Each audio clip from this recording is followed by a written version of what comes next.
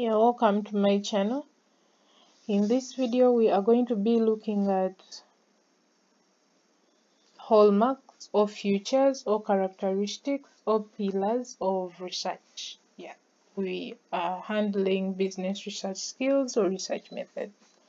Yeah, so in this video, we are going to look at the hallmarks, features, characteristics or pillars of research or scientific research. Yeah, first is purposiveness.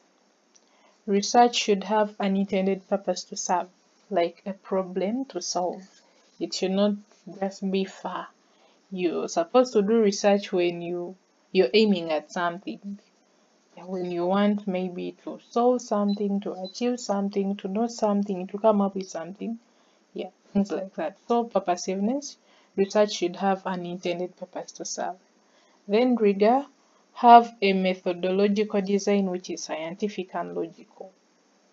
When you're doing research, you're supposed to use a method that is scientific or logical. There should be steps to follow to reach certain conclusions. Yeah. Then isolated variables, we said we have two variables and that is independent var variables. They can they can work on their own and then the dependent variables they depend on the independent variables. So isolated variables when you're doing research you're supposed to first separate the independent from the dependent variables. Then replicability. Replicability in this principle every research must be able to be repeated and the steps should be clear. Like when you're doing research you're you're supposed to write the steps down so that someone else can also be able to do that research. Or you yourself you can be able to do that research again. So replicability every research must be able to be repeated. Precision. Precision findings should be as accurate as possible. Like try as you can to make less errors so that your research is next to reality. It's next to the real thing Yes, so that is precision. Then objectivity. We said objectivity is the opposite of subjectivity. Subjectivity is based on someone's opinion. So objectivity, it means that your research should not be based on your opinion, but it should be based on the findings, the things that you find out. It should be based on data. Yeah. Then generalization. Generalization results should be used in various situations. Your research should be able to be used in different situations. Then parsimony.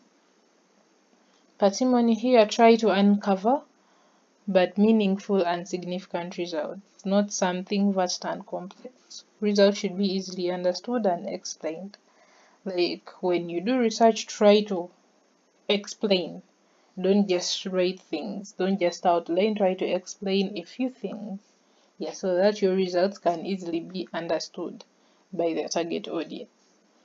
Yeah. So those are the hallmarks characteristics or features of research. We have purposiveness we have rigor isolated variables replicability precision objectivity generalization and parsimony Then we go to the importance of research. How is research important? Yeah. Here they're telling us that try to differentiate the aims from importance. The aims of research are different from the importance of research. In our previous video, we say that some of the aims of research is to discover, to interpret, things like that. Yeah, so in, the, in this video, we are going to look at the importance of research. Yeah. And the importance of research include First, research helps decision makers to make informed decisions. For instance, the government can analyze the needs and desires of people so as to come up with proper projects. So once you make research, you can be able to make a decision from an informed mind. Yeah, after you researching about the problem, you can be able to come up with solution from an informed mind. Yeah.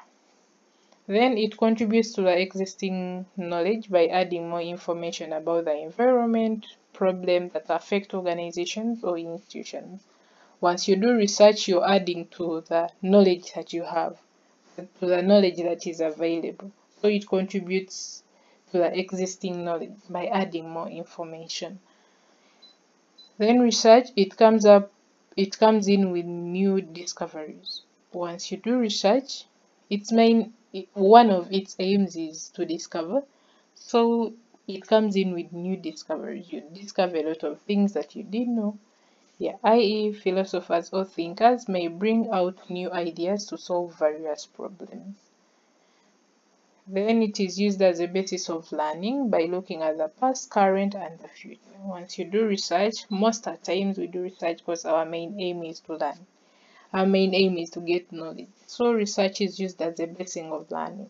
When you look at the past, history, what is happening right now, and then the future.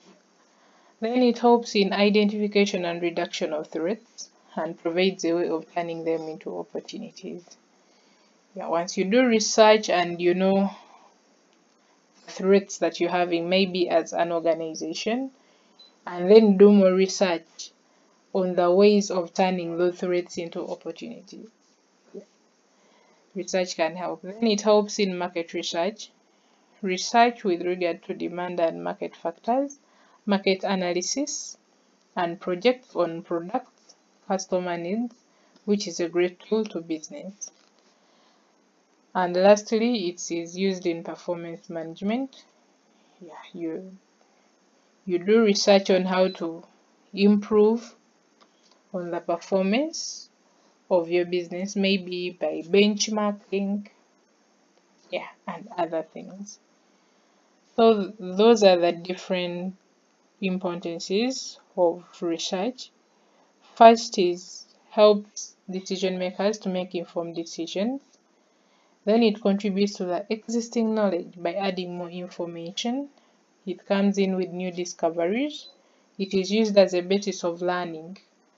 It helps in identification and reduction of threats. It helps in market research. And lastly, it is used in performance management. Yeah, so those were the importances of research. Thanks for watching. Don't forget to subscribe, like, comment, share with your friends and watch my next video We will be continuing with our topic